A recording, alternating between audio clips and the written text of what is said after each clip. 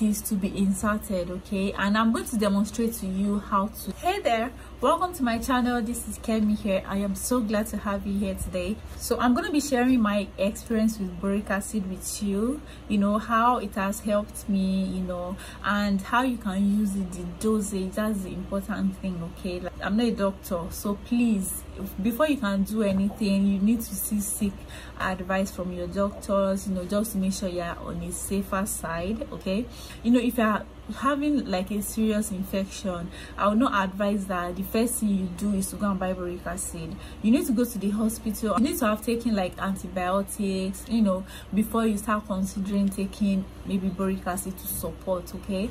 Now that that's out of the way let's talk about the business of the day. Boric acid has been used for centuries to treat vaginal infections and helps restore um, ph balance okay? You know you, if i mean if a girl you should know that any small thing that disbalances your ph level you know in your vagina and everything is just going to like go left you know. Some of us are like prone to yeast infection like any small thing before you know you start having discharge and before you know it becomes itchy and all of that. That's why you also need boric acid you know just to keep it around the house. You don't even have to have any infection before you buy boric acid. Boric acid treats many symptoms of vaginal infections. This includes itching abnormal discharges and just for vaginal health in general. Boric acid is used as an antifungal and antiviral substance to help treat several bacterial infections in the vagina. If you are prone to yeast infections, bacterial vaginosis, urinary tract infection, that's UTI, and any form of discharge at all, boric acid is going to be your friend okay? And you might be saying that oh boy i don't have any infection right now but just trust me you have to have it in the house. If you have said you need to like wait for like maybe 24 hours before you could use boric acid and if you are done with your period as well you should wait for like 24 hours before you could use boric acid this is what it looks like right here. And you know other ones have like they look like an arrow or something you know we have different suppository and let me just say guys something. Boric acid is not to be taken orally okay? When you know when i heard about boric acid it was on instagram i think so before i did my research it is to be inserted okay? And i'm going to demonstrate to you how to insert it since the, like my own did not come with an applicator and you know some of it comes with like this long applicator that you can actually use to insert it.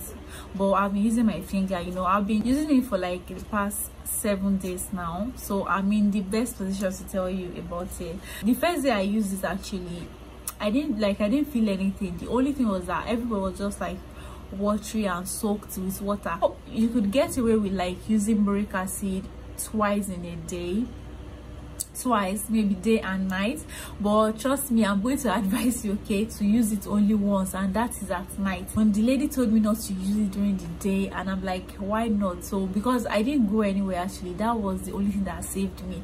So i used it during the day. You know i used the panty liners that was given to me. But trust me guys it was not enough to hold the water. Because you know when i used that night i noticed that i was going on everywhere is just soaked in the morning like my pants i thought it wouldn't get to my pants you know.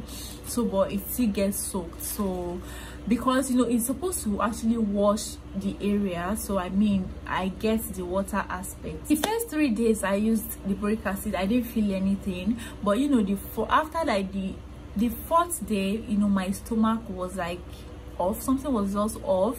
I couldn't fart. It was like air was trapped in my stomach and it was a little bit bloated but painful. I couldn't sit and stand. So that's the only side effects that i had with my own boric acid. And i felt like you know it's just doing the work because i'm very prone to like yeast infection. Any small thing i'm already having discharge and you know it's already itchy and stuff like that. Things that i've used for like seven days now and i can see everywhere is clean like i can wear my underwear there's no discharge there's nothing it smells great and all of that. So i am very very happy with my own boric acid. So i'm going to be showing you guys now like how to insert the boric acid. Some of us our own will not come with an applicator. So you need to figure out how to use it by yourself. Let me just show you now my own technique. If you're okay with somebody helping you to do it but me I, I maybe i would rather just do it by myself. You're going to take like your two fingers first like this okay? And you're going to like make it make sure that it is straight like that. And you're just going to insert it. And then you support it with the help of your middle finger. Sorry. Well, you are going to support it with your middle finger um you know like push it as far as it could go. If you are planning to um insert it like just put it in front and push it. It might not go okay? Except if this the place is slippery you know. It is very good for you to use your two fingers to apply push it a little bit then use your middle finger to like push it. For that's how i use my own. Of course when you are lying down because you know if you're sitting there it's not going to go. You put it it's going to like just be there. So you need to just put your back on the bed and you know raise your pelvis a little bit you know to be able to like put it and it's going to be easier for you that way. If you have like a major infection okay like a serious one don't take boric acid as your first response. You need to go to the hospital consult your doctor. Then maybe after you've taken like antibiotics then you can now use boric acid okay? Guys i want 100 likes for this video. So please if you're watching right now hit the like button okay? Just smash that like button right now. Thank you so much. Brings us to the end of today's video. Thank you so much for watching my video and i'll catch you up later.